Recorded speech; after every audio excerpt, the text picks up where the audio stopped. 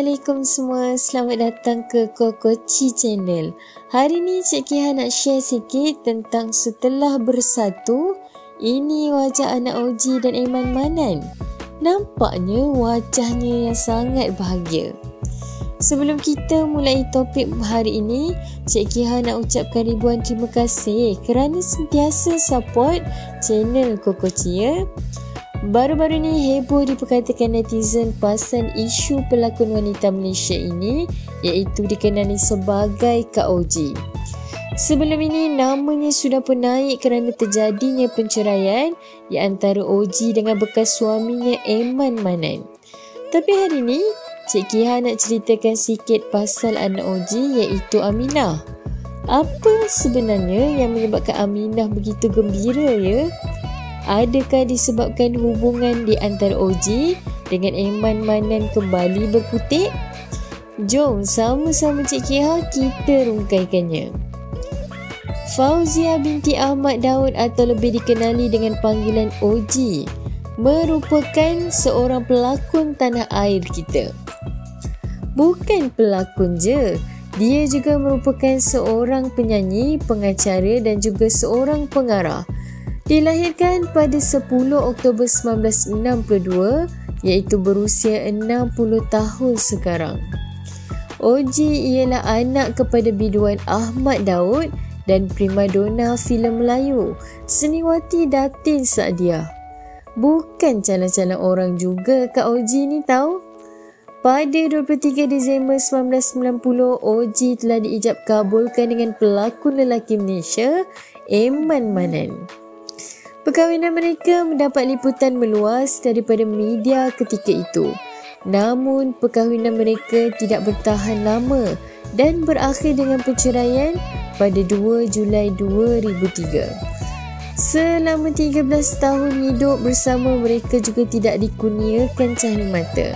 Apa yang Cik Kiha nak kaitkan Oji dengan Aminah sebenarnya? Aminah merupakan seorang anak angkat Oji tahu? Jom kita sentuh sikit cerita pasal Oji dengan Aminah ni ya. Berdasarkan sumber yang Cik Kia dapat dari Nona.my menyatakan melayari hidup sendirian selepas bercerai dengan aktor Eman Manan pada tahun 2003, kisah kekuatan Oji cukup menjadi inspirasi. Biarpun hampir dua dekad hidup solo, pengganti yang jauh lebih bererti Kehadiran anak angkat dia, Nur Aminah Aisyah bukan saja meraih perhatian, malah wajah gadis cantik itu menyerupai kecantikan Azura pada watak ibunya ketika remaja. Sering hadir menemani ibu yang tersayang, Aminah yang kini berusia 15 tahun tampak cukup manja dan pintar. Persis sahabat karib, ikatan mesra ibu dan anak itu pastinya mengisi jiwa Oji selama ni. Lahirnya 9 November 2007, Nur Aminah Aisyah cinta hatiku. Saya panggil Aminah. Dia bahasakan diri dia Aisyah. Perangannya persis arwah mak saya. Lemah lembut orangnya. Beza sungguh dengan Umi dia ni, opposite attract. Maka itu Allah berikan Aminah pada Umi ni tau. Katanya. Apa yang Cik Kia tahu juga, walaupun Aminah bermata sepet, namun peminat teruja melihat mukanya yang hampir seiras muka Oji. Betul lah kata orang, apabila hati ikhlas menjaga anak angkat, mukanya akan mengikut muka kita. Tambahan pula Aminah mewarisi bakat seni dalam diri Oji. Pandai berlakon, menari dan menyanyi. Bertuah Aminah dapat ibu hebat. Ibu mana yang tak sayang dan gembira dengan anak kalau hari-hari hidup bersama je kan? Begitu juga dengan Oji dan anaknya kan? Alhamdulillah Cik Kiha ucapkan.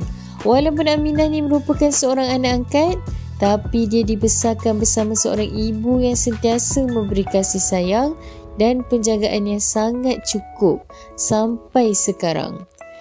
Memang selalu happy lah bila duduk sebelah dengan ibu dia kan? Itu je perkongsian Cik Kiha kali ni.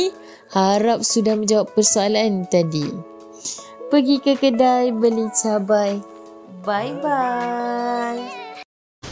Okay, ha, kejap-kejap. Nak lihat apa seterusnya? Subscribe dulu, okay? Okay, sedikit ya.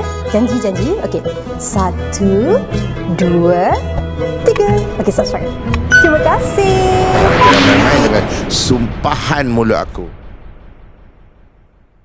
Diulangi artikel ini diambil dari artikel berkenaan. Sebagai penggemar media hiburan, harus berhati-hati dalam memilih sesuatu isu. Kami tidak bertanggungjawab kerana pihak kami tidak tahu kesahihan berita yang dikeluarkan. Jangan meletakkan kepercayaan penuh dan membuat spekulasi atas perkara yang kita tidak pasti. Menghayati hiburan boleh, jangan sampai kita melibatkan diri dengan fitnah dan buka aib mereka.